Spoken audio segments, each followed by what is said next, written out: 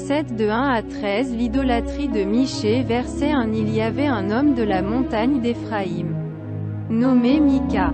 2 Il dit à sa mère, Les mille et cent cycles d'argent qu'on t'a pris, et pour lesquels tu as fait des imprécations même à mes oreilles. Voici, cet argent est entre mes mains. C'est moi qui l'avais pris. Et sa mère dit, Béni soit mon fils par l'Éternel. 3. Il rendit à sa mère les mille et cent cycles d'argent. Et sa mère dit, Je consacre de ma main cet argent à l'Éternel, afin d'en faire pour mon fils une image taillée et une image en fonte. Et c'est ainsi que je te le rendrai. 4. Il rendit à sa mère l'argent.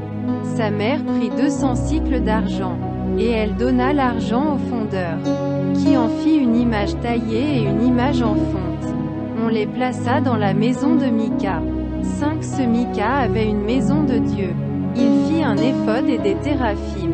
Et il consacra l'un de ses fils, qui lui servit de prêtre. 6. En ce temps-là, il n'y avait point de roi en Israël. Chacun faisait ce qui lui semblait bon. Juge 17 de 1 à 13 L'idolâtrie de Miché Verset 7 Il y avait un jeune homme de Bethléem de Juda, de la famille de Juda. Il était lévite, et il séjournait là.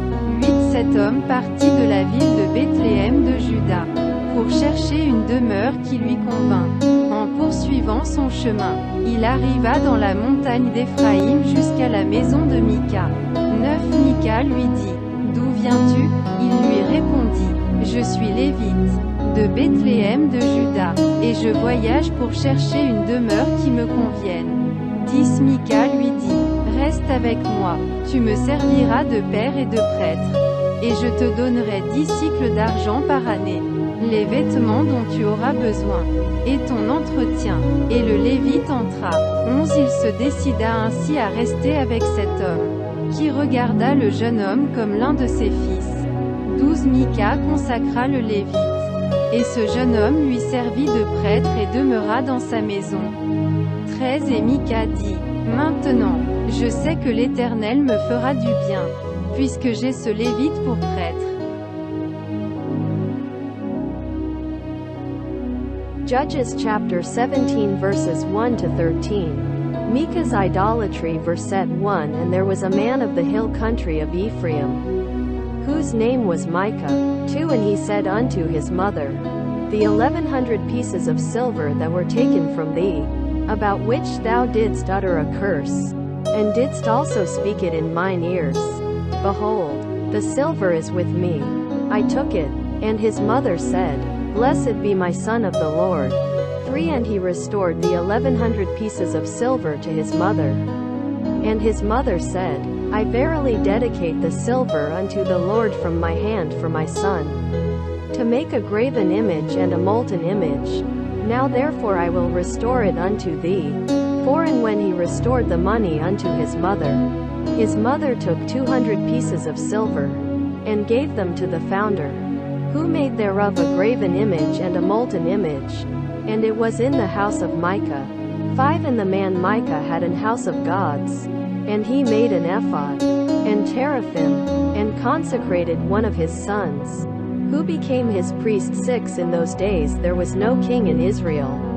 Every man did that which was right in his own eyes. Judges chapter 17 verses 1 to 13. Micah's idolatry verse 7 And there was a young man out of Bethlehem Judah, of the family of Judah, who was a Levite, and he sojourned there. 8 And the man departed out of the city, out of Bethlehem Judah, to sojourn where he could find a place. And he came to the hill country of Ephraim to the house of Micah. As he journeyed, 9 And Micah said unto him, Whence comest thou? And he said unto him, I am a Levite of Bethlehem Judah, and I go to sojourn where I may find a place. 10 And Micah said unto him, Dwell with me, and be unto me a father and a priest, and I will give thee ten pieces of silver by the year, and a suit of apparel, and thy victuals. So the Levite went in. 11 And the Levite was content to dwell with the man, and the young man was unto him as one of his sons.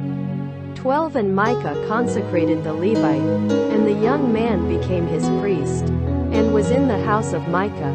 13 Then said Micah, Now know I that the Lord will do me good, seeing I have a Levite to my priest.